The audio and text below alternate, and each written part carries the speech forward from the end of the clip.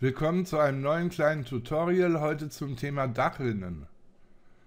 Ich möchte Ihnen heute hier zeigen, wie Sie die Längen der Dachrinnen problemlos, auch ohne Dachrinnen wirklich zu zeichnen, ermitteln können.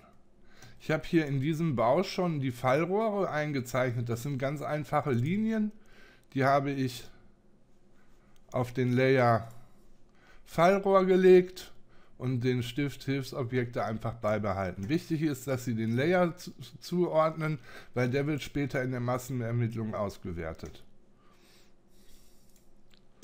Wir können jetzt auch noch die waagerechten Dachrinnen eintragen. Um die Traufe jetzt mit einem Linienzug abzufahren, schalte ich alles aus außer die Dachflächen. Das kann ich über einen Layout-Laden machen, was ich vorher schon abgespeichert hatte, nur Dachflächen neu zeichnen.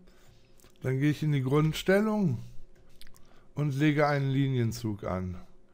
Dafür ändere ich den Layer. Und zwar nenne ich den Rinne. Sage als User Layer speichern und schließe das Fenster und dann ist hier Rinne eingetragen. Jetzt kann ich den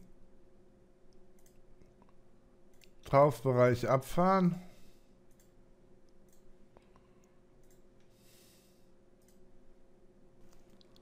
Und ich wechsle wieder in die sage Enter. Ist Jetzt wechsle ich in die Massenermittlung.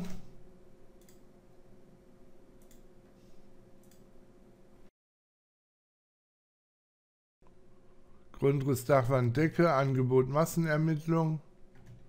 Gehe in Summe und hole mir nach Linien nach Material und lasse die berechnen.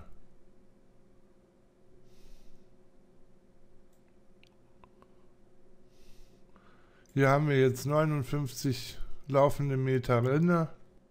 Jetzt können Sie auch noch einen anderen Wert zur Ermittlung der Trauflängen nehmen, und zwar hier unter Dacheindeckung können Sie den Begriff Traufbohle wählen, den schieben Sie in den Rechenbereich rüber und dann haben sie hier 64,8 laufende Meter. Das sind die Meter, die hier bei den 5,5 Meter Schleppgaube dazukommen würden noch. Was Sie auch machen können, Sie können den, ich schiebe das nochmal zurück, Sie können den Text auch ändern und sagen Dachrinne.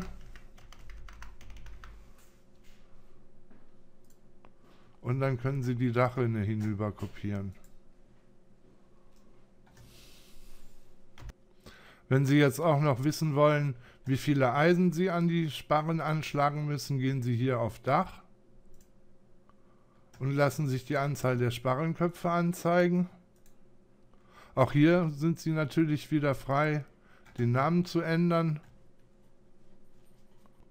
haben Sie erst einmal eine für Sie vollständige Liste angelegt, können Sie diese speichern als Layout und das Layout auch später wieder laden und natürlich auch sofort in Word oder Excel ausgeben lassen, sodass es druckbereit ist. Ich danke Ihnen für Ihre Aufmerksamkeit, wünsche noch einen schönen Tag und viele Grüße aus Bergisch Gladbach.